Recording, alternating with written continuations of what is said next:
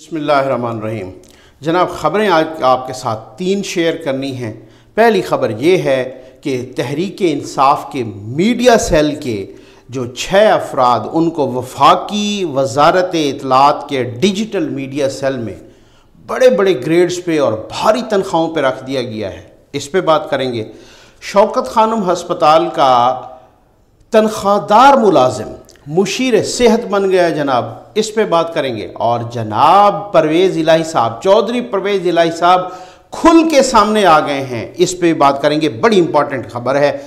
سب سے پہلے میں انتہائی معذت کے ساتھ سوری بھی کروں گا، اس کی وجہ یہ ہے کہ میں ذرا ایک آدھ دن کے لیے گاؤں گیا ہوا تھا اور جناب وہاں پہ وہ پھر آپ کو پتہ ہے کہ گاؤں پہ خیر سگنل تو ویسے ویک اور دوسری بات یہ ہے کہ لائٹ ایک گھنٹہ آئے اور پھر چار گھنٹے نہیں تھی۔ یہ بات واپسی پہ اتفاق سے نا جاتے ہوئے بھی اور واپسی پہ بھی چونکہ میرا جو آبائی شہر ہے، وہ ڈیرہ اسماعیل خان ہے، وہ وہاں پہ گاؤں ہے اور جاتے ہوئے بھی اور آتے ہوئے بھی میاں والی سے گزر، تو گزر ہوتا ہے، آپ کو پتہ ہے۔ جناب، آپ یقین کیجیے کہ میاں والی کی سڑکیں دیکھ کر انسان کو رونا آ جاتا ہے۔ آپ کی ہڈی پسلی ایک ہو جاتی ہے، چاہے آپ جتنی اچھی گاڑی میں بھی ہوں۔ آپ کی اس طریقے سے کہ گاڑی کا بھی ستیہ ناس کباڑا نکل جاتا ہے اور جسے میں حیران تھا۔ میں نے کہا، جناب، آپ ذرا تھوڑا سا سروے کریں۔ تو ماشاءاللہ ابھی ان کے جو وزیر صاحب، جن کا خود سی ایم شپ کے لیے بھی نام آ رہا تھا، پی ٹی ایک سپتین خان صاحب، وہ پکڑے، پھر اس کے بعد رہا بھی ہو گئے اور جناب، پھر اس کے بعد جو ہے نا، ان کا بڑا ایک وہ وزارت بھی ہے ان کے پاس۔ ان کا بھی علاقہ ہے۔ جناب، خود پرائم منسٹر آف پاکستان کا حلقہ انتخاب ہے۔ پانچ جگہوں سے وہ منتخب ہوئے اور سارے چھوڑ دیے اور میاں والی کو انہوں نے رکھا۔ تو اس کے بعد دوسرے ایم این اے صاحب جو ہیں، وہ بھی انہی کے ہی ہیں جناب۔ ٹھیک ہے، پی ٹی آئی کے ہیں۔ تو میں سوچ رہا تھا، بس جلدی جلدی یہ بتاتا جاؤں کہ جن سے دو سالوں میں صرف میاں والی کی ایک سڑک نہیں بنی ان کا دعویٰ ہے ہم نیا پاکستان بنائیں گے، ان کا ضد ہے یہ۔ چلیں، آگے بڑھتے ہیں جناب۔ میڈیا سیل کے، تحریک انصاف کے جناب میڈیا سیل کے، پی ٹی آئی کے میڈیا سیل کے چھ افراد کو، ٹھیک ہے، ایک دو نہیں، پورے چھ افراد کو وفاقی وزارت اطلاعات کے ڈیجیٹل میڈیا سیل میں تعینات کیا گیا۔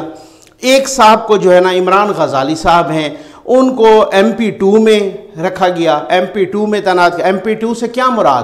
ایم پی ٹو سے مراد ہے گریڈ اکیس۔ جی ہاں اکیس گریڈ کا بندہ، ٹھیک۔ ہے آپ کو میں بتاؤں اگر آپ اس کو ایکولنٹ ٹو اگر بیروکریسی کے ایکولنٹ کریں نا، تو یہ سیکٹری کے برابر ہوتا ہے، تقریباً یہ گریڈ صوبائی سیکٹری عام طور پہ گریڈ اکیس میں ہوتے ہیں. وفاقی البتہ گریڈ بائیس میں ہوتے ہیں. اور اگر آپ اس کو جو ہے نا آرمی کے ایکولنٹ کریں، تو یہ میجر جنرل کے برابر ہوتا ہے. یعنی کہ گریڈ اکیس میں عمران غزالی صاحب کو رکھا اور تعینات کیا جناب. پانچ جو ہے نا ایم پی تھری میں، ان کو جناب وہ گریڈ ٹوینٹی میں پانچ لوگوں کو۔ اس میں عثمان بن ظہیر صاحب ہیں، مزمل حسین صاحب ہیں شباز خان صاحب ہیں، نعیم احمد یاسین صاحب ہیں اور سعیدہ ہاشمی صاحبہ ہیں۔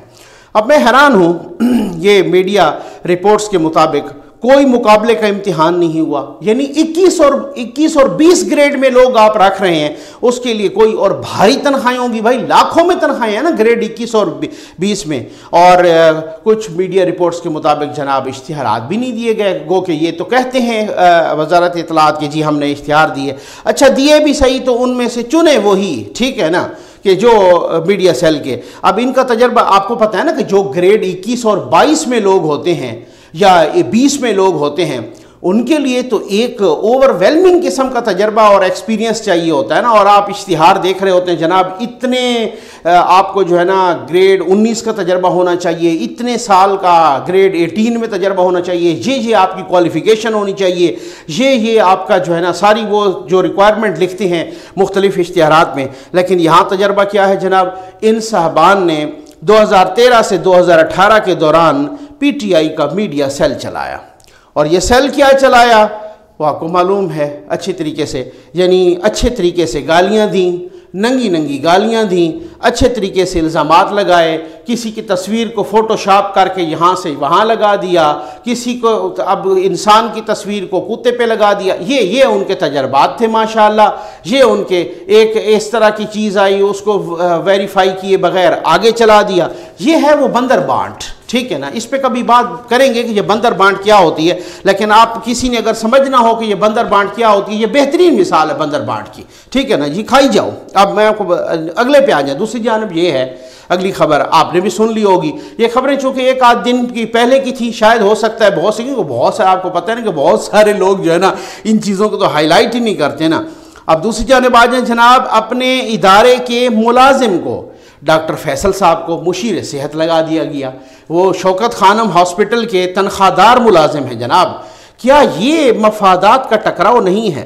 بھائی جب ہم دیکھتے ہیں نا جب خان صاحب کنٹینر پہ کھڑے ہو کے اپوزیشن کے مختلف ادوار میں جو میڈیا ٹاک کرتے، جو پریس کانفرنس کرتے، جو مختلف قسم کی اس اس طریقے سے جب وہ میڈیا سے بولتے، کوئی انٹرویوز دیتے، تو اس وقت وہ سب کو بڑا اچھا لگتا، بڑی اچھی اچھی باتیں کرتے۔ وہ جناب خلفائے راشدین کی مثالیں دیتے، وہ جناب حضرت بکر رضی اللہ تعالیٰ عنہ کی مثالیں دیتے کہ جناب دیکھیں ان کا ایک وہ کاروبار تھا، تجارت تھی کپڑے کی، تو خلیفہ بننے کے بعد انہوں نے اتار کر اب یہ جو باتیں آپ نے آپ نے لوگوں کو بتائی نا جڑی چکنی، چبنی، بڑی جو ہے نا یہ اس طرح کی بتائیں باتیں بڑی پیار کی اور بڑی جو ہے نا مطلب میں سمجھتا ہوں اگر آپ کا، آپ اخلاقیات کے کسی پیمانے پر وہ کریں نا کہ آپ مثالیں دیں اسلام کی ہسٹری سے، مثالیں دیں خلفۂ راشدین کی لائف سے، مثالیں دیں ریاست مدینہ سے، مثالیں دیں کہ جناب الیکٹیبلز تو بڑے ہی کوئی حرام ہوتے ہیں، ان کو تو حلال کرنا ہی نہیں ہے۔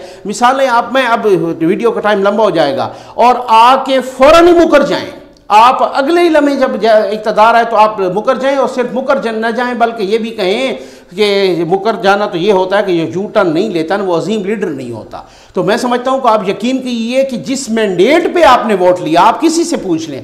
جس مینڈیٹ جس جس جس وعدے پر آپ کو مینڈیٹ لیے مینڈیٹ ملا، جس وعدے پر آپ نے ووٹ لیا اور پھر اس کے بعد آپ یو ٹرن لے گئے، اصولی طور پہ آپ وہ مینڈیٹ کھو چکے ہیں۔ یہ آپ کسی سے پوچھ لیں اگر آپ اصولی اخلاقیات کی بات کرتے ہیں تو۔ اب جناب ایک ان کی کابینہ میں جناب ڈاکٹر فیصل صاحب کو، فیصل سلطان صاحب کو میں یہ نہیں کہہ رہا کہ کوئی ان کی کوالیفیکیشن نہیں ہوگی، میں یہ بھی نہیں کہہ رہا کہ آپ کا پراگیٹو ہے، بالکل آپ کی ڈسکریشن ہے، لیکن وہ بات وہی ہے نا کہ بھائی وہ کیا کہتے ہیں، اندھا بانٹے ریوڑیاں، پھر پھر اپنوں کو دیں چلے۔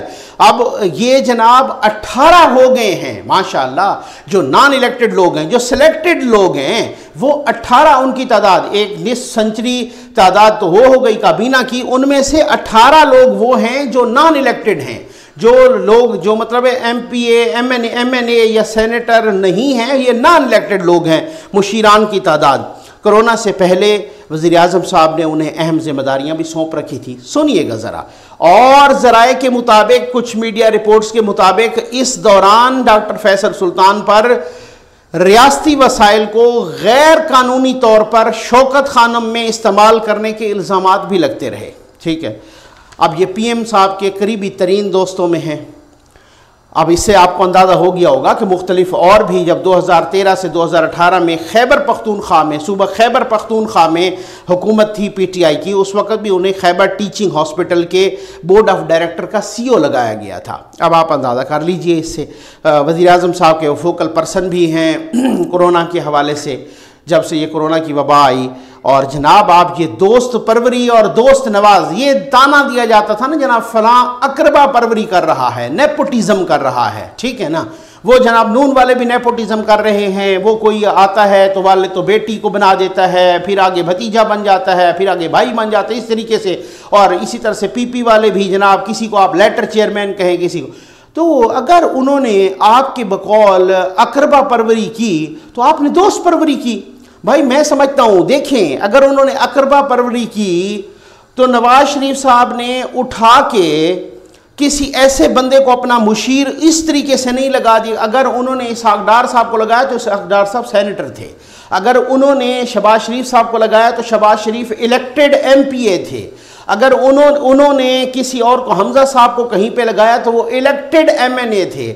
زرداری صاحب نے بلاول صاحب کو آگے کیا تو الیکٹڈ لوگوں نے الیکٹ کیا۔ لوگ ریجیکٹ کر دیں، ہٹ جائیں گے۔ ریجیکٹ کرنے کے بعد بھائی ان لوگوں کو تو الیکٹ ہی نہیں کیا۔ آپ تو ان کو چن رہے ہیں خیر سے ماشاءاللہ، جن کو لوگوں نے الیکٹ نہیں کیا۔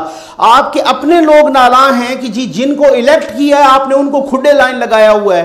اور جو نان الیکٹڈ لوگ ہیں، جو سلیکٹڈ لوگ ہیں، آپ ان کو اوپر لے کے آ رہے ہو اور ان اور جو الیکٹڈ لوگ ہیں، وہ میں آپ کو ذرائع سے بتا رہا ہوں، باوسوخ ذرائع سے عزت بچا رہے ہیں۔ وہ بیچارے کہ جناب ایسی کوئی ایسی صورتحال ہوگی سے پہلے عبدالفی بخاری صاحب کو دیکھ لیں، اون چودھری صاحب کو اور میں کتنوں کے نام لوں؟ ٹھیک ہو گیا نا؟ تو یہ دوست پروری اور یہ دوست نوازی، یہ کیا ہے؟ دوستوں پر ذرہ نوازی، کیا بات ہے؟ جی ماشاءاللہ، اب کاف لیگ اور بزار صاحب کی جناب، میں نے کہا کہ چودھری صاحب، چودھری پرویز الہی صاحب کھل کے سامنے آ گئے۔ کاف لیگ اور بزدار صاحب کی ملاقات کل اچانک ملتوی ہو گئی۔ ملتوی ہو گئی، یہ منسوخ ہو گئی۔ یہ کیا ہوا؟ یہ خبر آپ کے بہت ساروں کے جو ہے نا نظروں تلے سے نہیں گزری ہوگی، ایسی خبریں ہائی لائٹ نہیں ہوتی نا، اصل مسئلہ یہ ہے۔ وہ کہتے ہیں بڑی پازیٹیو خبریں دیں۔ اب یہ حالت جب میں نے کل سڑکوں کی دیکھی نا، اور میری ہڈی پسلی ایک ہوئی ان سڑکوں پہ میاں والی کی چلتے ہوئے، تو پھر میں نے کہا، اب یہ کہتے ہیں پازیٹیو خبریں۔ اب میں اس کو کیسے پازیٹیو کروں؟ مجھے یہ بتا دیں صرف۔ ٹھیک ہے۔ اب پہلی یہ ملاقات طے تھی تین بجے۔ پھر میڈیا رپورٹس کے مطابق، پھر یہ ملاقات ہوئی جناب چار بجے۔ پھر یہ ملاقات کس کے درمیان ہونی تھی؟ چودھری پرویز الہی صاحب، ان کا وفدانہ تھا کاف لیگ کا اور یہ ملاقات ہونی تھی جناب وسیم اکرم پلس صاحب سے یعنی عثمان بزدار صاحب سے، ٹھیک ہے؟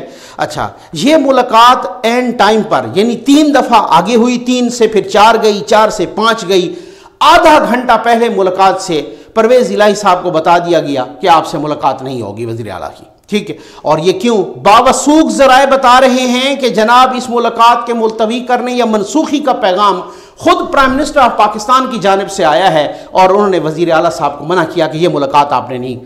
اب لوگ کہہ رہے ہیں کہ پرویز الہی صاحب کھل کے آ گئے ہیں۔ کچھ باوسوخ ذرا یعنی وہ ٹیسٹڈ ہیں۔ ٹھیک ہو گیا نا، اندر کی خبروں کے حوالے سے۔ کچھ باوسوخ ذرائع کہہ رہے ہیں کہ جناب جی کا جانا ضرور ٹھہر گیا ہے۔ لیکن مسئلہ یہ ہے کہ چودھری صاحب آپ ڈٹ گئے ہیں۔ وہ کہتے ہیں، نہیں جناب بزار صاحب جائیں گے تو میں آؤں گا، کسی اور کو ہم ووٹ نہیں دیں گے۔ ان کے پاس اور ووٹ ہے نہیں۔ ٹھیک ہے نا؟